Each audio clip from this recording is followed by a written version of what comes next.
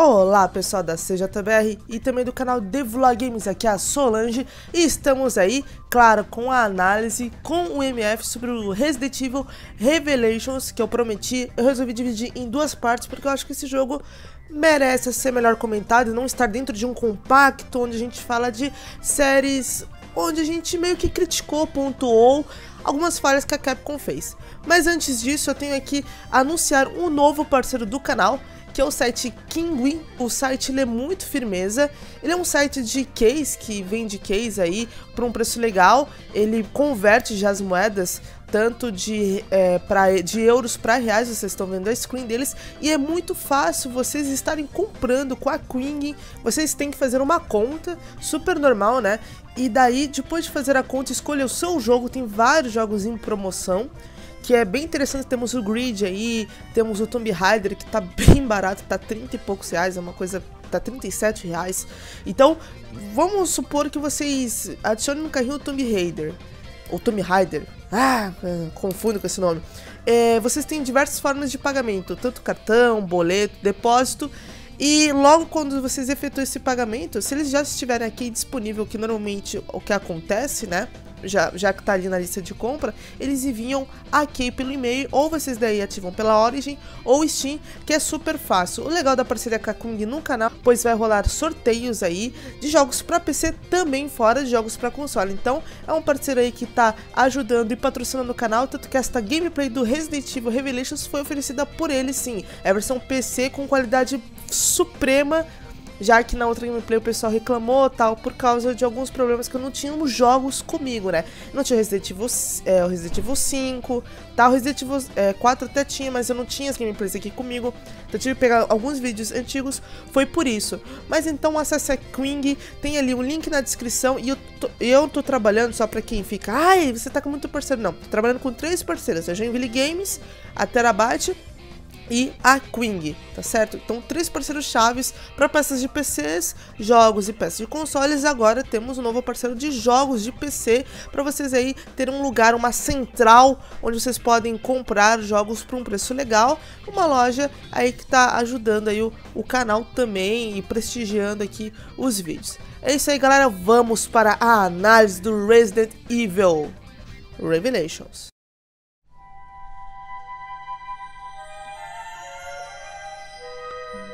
Agora vamos falar do Revelations, né? Revelations eu tava, eu comentei contigo, foi a primeira pessoa, aliás, que eu fiquei sabendo da tua boca, eu fui no Facebook, que tinha um porte e eu tinha Fazia um dia que eu tinha comprado Resident Evil Revelations pro PS3, pro 3DS, cara. Tu não sabia a raiva Nossa. que eu fiquei. Sério? Aham. Uhum. Tinha falado contigo fazia um dia que eu tinha comprado. O Revelations eu fui falar todo feliz, né? Pô, tenho o Revelations, vou falar pra ele, né? Hoje Resident Evil, tu me fala, ah, vai sair daqui um mês, né? Ou dois meses. Um... Tá, daqui a pouco tá saindo aí, que eu não lembro. Tá saindo novo já. Tá versão saindo... HD. Em versão HD. Falei, puta que pariu. Mas, sabe, eu tenho aqui o Resident Evil, é, a versão HD, mas eu joguei, eu gostei muito da primeira parte que eu joguei. E eu tenho agora orgulho de ter um portátil e ter ele como portátil. Vai que eu vá viajar, vai que eu vá na praia, vai na... e eu quero rejogar ele no meu portátil, sabe?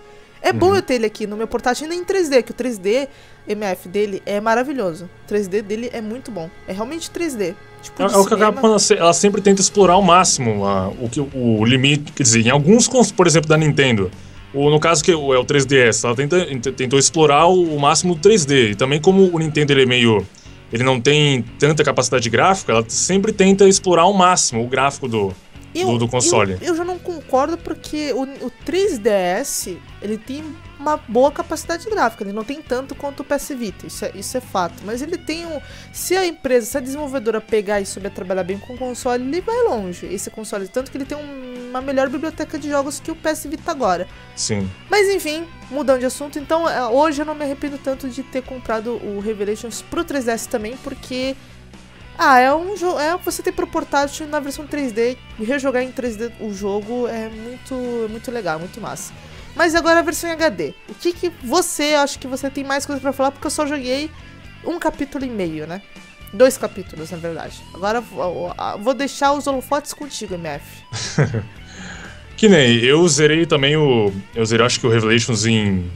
Se não me engano, em dois, três dias. É que eu tava jogando um pouco de. É, um, pouco de, de tempo a cada dia. Mas quando eu joguei aquele jogo, na demo mesmo, no caso eu joguei a demo, foi liberada antes. Cara, eu, eu vi que Resident Evil tava de volta, cara. Beleza, não tem zumbi, não, não tem. É, a, a, gente tá acostumado a ver. Mas os, a, a atmosfera que o jogo cria em si para o, o Resident Evil Revelations é muito boa. Beleza, são inimigos novos. Eles lembram os Regenerators do Resident Evil 4. Mas a atmosfera que o jogo cria, dá pra. Beleza. Dá pra você tomar susto. Eu, eu mesmo tomei susto jogando o jogo. Fiquei também, também. com medo em certas partes. É, mas o que eu mais fiquei no jogo é tenso. Porque você não sabe o que, que vai ter a cada. É, a cada curva que você fazer dentro do ar. Mas aí você fala esquina. Um mas barzinho. Então, mas tem uma parte no jogo que tem uma. É tipo uma cidadezinha dentro do navio.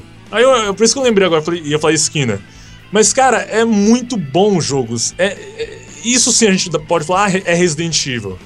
A gente consegue ainda falar, ah, não é Call of War, é, quer dizer, não é Call of Evil, não é Resident of War. Tipo, você consegue mesmo é, identificar ele como um Resident Evil, porque tem, tem muitas coisas que você vai passando durante o jogo, você vai vendo que eles tentaram reviver os Resident Evil antigos. Por exemplo, o item box é uma coisa que, que volta no jogo, que é onde você conseguia guardar as armas, pegar em outro lugar.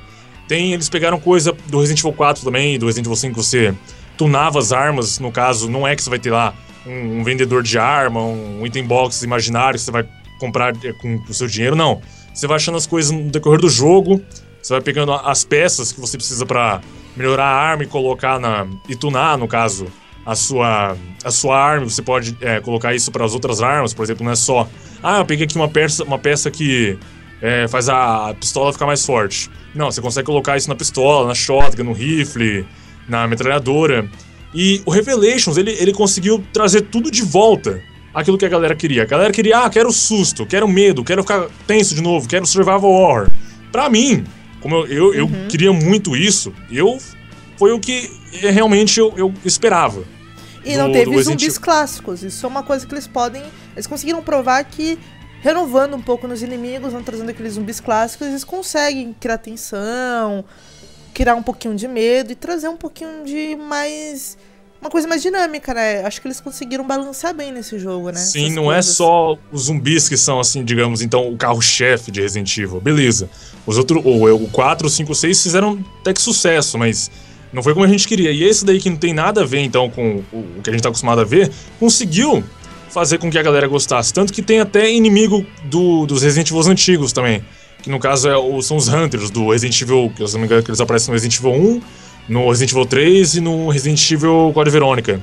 Eles, eles voltam no, no Resident Evil Revelations e ficou uma coisa muito legal, que eles conseguiram fazer de várias formas. A história do jogo é contada de uma forma muito então, boa. Uma história. E, e, o plot da história. Não, não dá spoiler. Nessa daí tu não pode dar spoiler.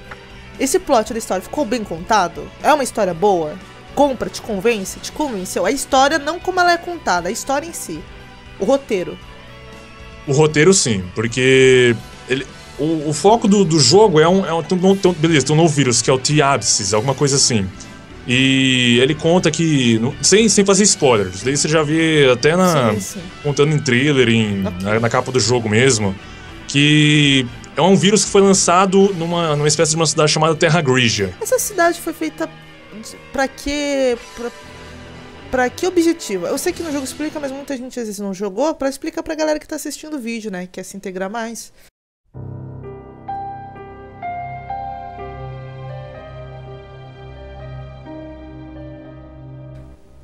Se, se, eu não me engano, eu não, eu não, não, isso eu acho que eu não prestei muita atenção, uhum. eu acho que não conta, mas. Mas não é muito relevante, talvez, né? Então, isso eu realmente não sei, não tô lembrando agora também uhum. da, do, do que, que, o propósito da cidade, assim. Mas pa parece, se não me engano, era tipo. É, eles quiseram criar um, um, novo centro, quer dizer, a, a, a cidade em si a, o, a finalidade dela não é bem fazer, ah, vamos fazer uma cidade no meio do, do, do oceano para todo mundo ser feliz. Não. O propósito dela é um outro. Tem uma, tem uma toda uma história por trás do que acontece na cidade. Ah, tá a cidade certo. é uma fachada. Aham. Agora que eu lembrei, a cidade é uma fachada. Tá. Ela tem um esquema, o, o porquê da cidade, okay. mas isso se eu contar é spoiler. Spoiler. Daí Sim. fudeu tudo porque vieram uma organização terrorista, né? Que até então é, eles falam um nome, mas eu não lembro. A Veltro. Veltro, isso. E lançaram lá um monte de zumbizolo, um monte de monstro, um monte de vírus naquela cidade, certo? Sim. Aí pra este- esterilizar a cidade, eles construíram um satélite que, no, no caso, ele ia ter que, então, é, teria força suficiente pra destruir a cidade e matar todos os monstros que estavam lá. E assim foi feito? Sim, eles conseguiram, sem matar... É, Você claro, mandar uma bomba, né? Assim. Seria tipo Raccoon City novamente. Aham. Mas é, conseguiu esteril- esterilizar a cidade, matou todos os monstros, não, ter, não matou as pessoas que estavam lá. Quer dizer, os monstros mataram as pessoas, mas as pessoas não morreram. Só foi mesmo monstro e a destruição total da cidade. E a forma que o jogo, assim, que eu acho que ele é contado, lembra muito seriado. E lembra muito os- as animações, não os filmes do Paul Anderson, mas as animações em CG oficiais da Capcom. No caso, o Resident Evil Condenação e o Resident Evil é, Degeneração, se eu não me engano. Generation, né? Degeneration e Damnation. E conta muito bem na- durante as cutscenes, muito bem mesmo. Você consegue ver cada detalhe das coisas e é muito bem feito mesmo. Conforme o jogo vai passando, eles vão detalhando mais ainda, vão contando melhor ainda. E o mais legal de tudo é que, tipo, quando acaba um capítulo, todo fim de. é, que agora é episódio, é, eles sempre fazem uma espécie de um Previews. reveal do que aconte- um previously do que aconteceu no, no outro no outro capítulo. Por exemplo, você jogou capítulo 1, é, são divididos em três capítulos, digamos assim. Sim. É um, 1 barra 1, barra 2 e 1 barra 3. Aí você vai pro capítulo 2, ele faz, ele faz um previously do que aconteceu no outro capítulo. É então, por muito exemplo, você legal isso. É muito massa, lembra muito, parece que você tá assistindo um- uma série mesmo, você tá um Eu seriado. lembro um jogo que fez isso. Foi o primeiro jogo que fez isso. Muita gente destacou. Foi o Alan Wake, né? Que tinha também essa, essa brincadeirinha de quando o capítulo tinha um preview, né? Sim, é, é, perdido. o pessoal me fala, me- eu não sabia disso, que eu nunca joguei Alan Wake, mas o pessoal me falou: "Ah, isso daí teve no Alan Wake". Alan Wake. Jogue. É um, um jogo que tem uma puta história. Ele não dá muito medo, dá uma tensão. É um jogo bom, MF. Pra tu Sim. trazer no seu canal um dia, vale a pena tu, tu trazer. Mas voltando pro Resident Evil, então tu jogou com um sorriso de canto a canto, né? Com certeza. Tipo, a cada jogatina que eu jogava, tipo, eu não conseguia ficar com aquele sentimento de nossa, que, que jogo chato, ah, tô enjoado, ah, que droga. Não, eu queria jogar mais e mais, cara. Toda hora, tipo, eu queria jogar, porque ele, dava, ele dá muita. Não é que ele dá nostalgia, mas ele consegue fazer você fazer referência aos, aos outros jogos e ainda assim ter a própria identidade dele, fazendo com que você é, consiga se envolver realmente com o jogo. Tem parte no jogo que você lembra de Resident Evil 1, de Resident Evil 2, de, de Resident Evil 3, até do 4. Tem coisa do 5 também, que é na, na, na parte que você joga com o Chris, mas é coisa de leve e é legal. Não é igual no 5 que tem partes ridículas lá de quando você tá jogando com o Chris, enfrentando monstros. É uma coisa legal que acontece no Revelations. Tem referência ao Code Verônica. É muito legal mesmo. É pro fã mesmo se deleitar com o jogo. É o melhor, para mim é o melhor Resident Evil dessa geração. Dessa, na verdade, desde o 4, né? Vamos supor, do 5 pra frente, vai. Sim. O a gente falando nesse quesito assim, o Revelations ele foi lançado antes do para 3DS antes do 6. Tu não acha que foram equipes diferentes que trabalharam nos jogos? Provavelmente. Eu, eu acho que foi. Eu não cheguei a. Eu, dá, é bom dar uma pesquisada. Se eu conseguir dar uma pesquisada até na edição do vídeo eu coloco em legenda, porque eu fiquei curiosa, porque eu acho, eu tenho uma impressão, uma leve impressão que foram equipes diferentes que desenvolveram os jogos. Tanto porque um é por portátil, daí foi uma outra equipe que desenvolveu o enredo, o jogo, e pro 6 foi uma outra. Por isso que eu acho que saiu diferente. Uma equipe se preocupou em trazer mais origens, e a outra fudeu. Porque não faz sentido, né? Um jogo sair antes de um jeito, né? Fazer um Uhum. puta sucesso que fez no portátil, foi um dos carros-chefes do 3DS esse jogo. Foi até o principal motivo deles ter feito o grip, né? De ser o analógico essa porra ter vendido. Porque se Sim. não fosse pelo, pelo, pelo Revelation não teria vendido. E fazer o 6 da maneira que saiu, né? Há um pouco de contradição aí. Eu acho que esse HD eles lançaram pra poder ver se aquele é o caminho. Vai que no 7 eles sigam esse caminho. Já pensou? Sim. Que, né, o, ele, se eu, não me, se eu não me engano mesmo, é, o diretor é um outro. É que eu não tô lembrando o nome dele agora. Eu sei que no 6 é o Hiro, Hiroyuki Kobayashi e o Ekiro Sasaki, mas no Revelations, não, eu, se eu não, não me engano, os nomes estão bem diferentes. Eu acho que não são os mesmos produtores e diretores do, Uhum. que do, do 6 pro Revelations. né? Tudo. Sim, e, e que nem você falou, é, que eles fizer, resolveram fazer essa versão HD pra tentar testar se, se eles vão seguir esse, isso, tem- é, seguir esse caminho de novo, ou continuar com o Resident Evil 6. A desculpa da Capcom, que é claro que eu não acredito, Uhum. que, é, que é a seguinte, ela fala, ah, nós tentamos trazer o Resident Evil Revelations para é, a versão HD para os consoles de mesa, porque nós gostaríamos de ver como que o, o jogo ficaria em tela grande. Olha a desculpa dos caras. Ah, olha. Pra ver em tela grande. Né? Pra ver em tela grande, né? Ah, tô É, aham. Aham, tu acha que a gente Os- é bobo, que vocês estão fazendo pesquisa de mercado, né, Capcom? Os caras querem dinheiro, os caras querem dinheiro, cara. Não, Não, tem. se, se duvidar, acho que. Ah, eles contrataram de volta o criador do Devil May Cry original, né? Não sei se tá ligado. Que Hum. era o da baioneta, daí saiu do desenvolvimento da baioneta 2 e a Capcom pegou ele de volta, né? Não, não mas- cheguei a ver. Mas eu acho que a Capcom vendeu a franquia Devil May Cry, mas eu não sei o que, que eles vão fazer com esse cara de volta. Porque o Devil May Cry, ele. O novo ele vendeu bem menos que a Capcom esperava, né? Sim. Ah, a Capcom ela é esperta, não dá ponto sem nó. Eu tenho certeza. E pelo menos vai ser bom pra gente, porque se o jogo sair de um molde assim, então.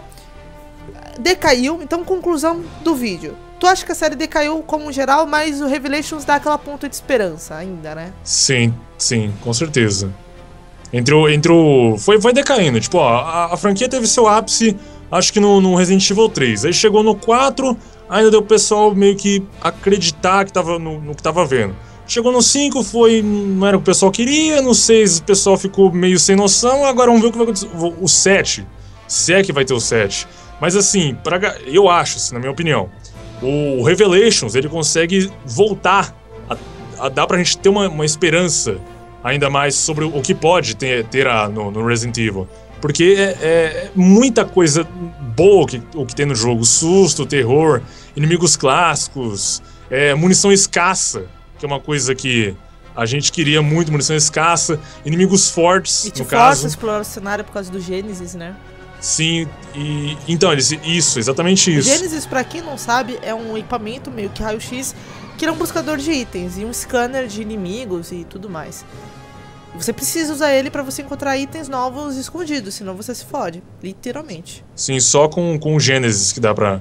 Quer dizer, tem, tem itens pelo cenário, mas se você não escanear, tipo, sei lá, se São poucos. sala teria. Numa sala te- isso, numa sala teria 10 itens. Desses 10 itens, 8 estão escondidos. Você só vai achar com o Gênesis. Então, tipo, se você passar só com esses dois, você não consegue. Não, Então, não consegue levar. então, isso é uma coisa boa do Revelations, que ele, ele força o jogador a explorar o cenário. Tipo, nos outros Resident Evil, não, você pode pas- passar é, só matando os inimigos, não tem problema, porque eles vão deixar item. E isso no Revelations não tem. Eles não deixam item. E uma, um- uma última coisa que eu quero falar, depois de finalizar, uma coisa que eu achei foda, não sei se eu já gostei disso, foi a legenda. Agora, no Revelation, ser legendado, porque na versão original ele não é, né? Então eles, eles traduziram o jogo. Isso eu achei muito foda, muito 10 aí. Porque nem todo mundo sabe inglês fluente ou tem uma noção boa de inglês, né? Isso é bom Sim. porque é, junta o público, deixa mais universal, né? Mais acessível. Uhum. Isso eu gostei pra caramba. Eu tô gostando muito desse final de geração nessa questão de eles legendarem os jogos. Isso eu tô gostando pra caramba.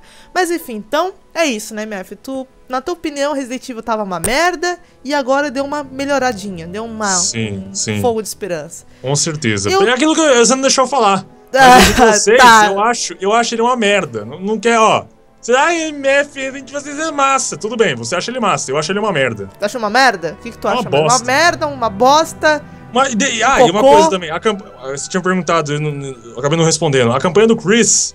Você falou, ah, qual campanha que você mais se decepcionou A do do Chris? Chris foi horrível. Aquele filho da. Eu, ah, não dá, cara. Ele é um Não, filho da fala, puta. fala, pode No falar. 6, ele Pode ficou um filho da puta. Eu, eu esperava. Ele, Desabafo. o, o foda. Tipo, beleza, ele perdeu a memória lá no Resident Evil 6, mas, tipo, quando você vai come- começar a jogar o, o jogo, ele fala umas frases que, tipo, você fala, nossa, vai ser foda campanha. Ele fala, eu não posso continuar fugindo, eu tenho que encarar a verdade e aceitar a minha responsabilidade. Você acha que o cara vai ser o, o, o herói do jogo mesmo. Tanto que o 6 foi tratado como o Chris sendo um herói em decadência. Porque as coisas que esse babaca faz é ridículo. Ele não, não, não bastar matar os inimigos, ele mata os, os próprios membros da equipe dele. As ordens que ele dá como capitão é ridículo. Ele- sério, o Chris virou um babaca no Resident Evil 6. Tanto Não basta o quem- cara perder a memória, Ah, começou a beber e virou um babaca. Eu, eu vou falar mesmo, tanto que quem salva a porra toda não é o Chris, é o amiguinho dele, que É o acaba se Pierce. fodendo. É, que acaba É o tomando cara-. Então, é o parceiro que você mais gosta no jogo todo, porque ele, ele Sim. toda hora tá ali levantando o Chris. O, Chris. o Chris quer fazer a pior merda possível. E ele vai lá Aí e conserta a O merda do Pierce Chris. vai lá e fala: Não, não faz isso. Você vai ver que tem um, tem um outro caminho, não sei o quê. Se não fosse o Pierce, o Chris, o Chris realmente teria morrido já. O Peter salvou milhões de vezes o, o, Chris. O, o Chris. E, e, se fodeu de verde e amarelo, né, cara? Com certeza. Mas no 6 ele tá um babaca. É a, é a campanha que eu mais me decepcionei. Que, que, nem no Revelations, eu consigo ver o Chris realmente como Chris. A, tipo, ele tá aquele cara que a gente tá acostumado a ver no, no Code Verônica, no, no, no, Resident Evil 5 também, que ele era. Ele tava assim no 5, né? Ele, sim, ele, ele era aquele. Ele era um soldado mesmo, né? Ele tipo, tinha aquele, aquele espírito de herói. No Revelations, no, no 6 ele não tem nada disso. No, no Revelations ele tem. Você consegue identificar, ah, Mas... aquele Chris de novo, não sei o que. Ele, ele faz até piadas às vezes. Por exemplo, quando a, a, a, a Jessica tá dando praticamente em cima da cara dele, ele tá nem aí, ele só quer saber da missão. Tanto que tem uma parte lá que ela fala: Ah, Chris, é, tá muito frio aqui nessa caverna. Aí ele fala: Ah, espero que você tenha trazido a sua roupa íntima, a sua roupa íntima térmica. Mano, cara. Cara, ele tá muito sendo. Ele voltou a ser aquele Chris é, bestão, bobão, mas, tipo, com foco na missão.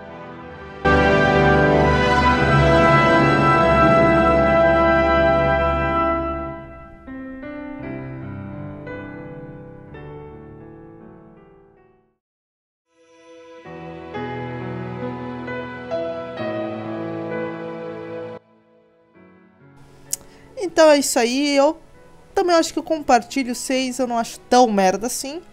Eu acho legal, mas não foi dos, dos três jogos, com certeza foi o que eu menos me empolguei, né?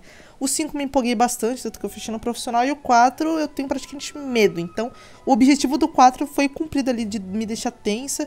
E o Revelations eu tô achando muito legal até agora. Mas então eu vou ficando por aqui.